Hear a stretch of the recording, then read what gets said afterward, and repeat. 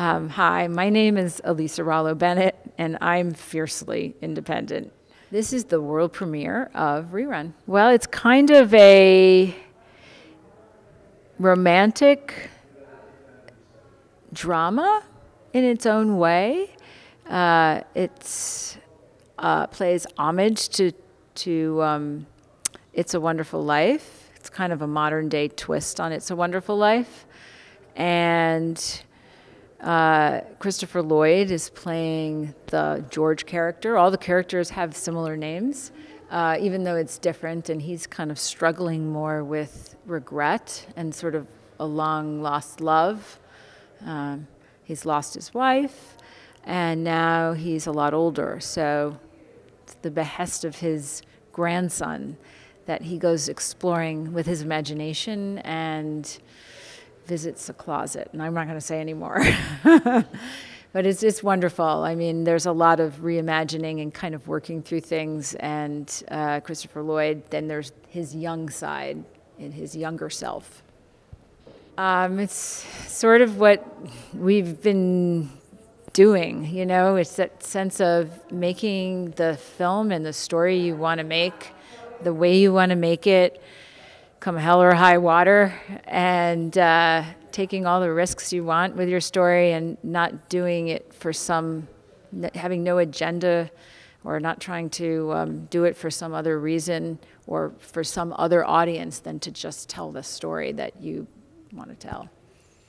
Um, what they had is a, a, film about a family coping with the challenges around caregiving for the matriarch of the family um, who's struggling with memory loss.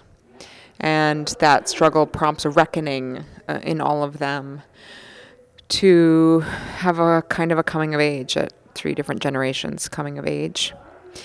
And um, it's a personal story that was inspired by my family and the things that we experienced coping with my, my grandmother's uh, memory loss.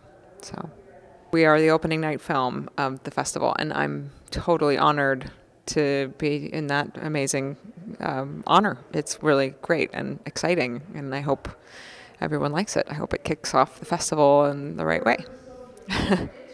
Fiercely independent. I think it means to be reckless and fearless in pursuit of the thing that is driving you, the vision that maybe nobody else has. That's the thing about vision, like nobody else can see it but you. And to pursue it recklessly and with fervor and with everything that you have and not allow the many, many no's that you get to defeat that vision. Um, to believe in yourself and don't ask permission. And um, and don't wait for someone to tell you yes. That's what it is for me, I think.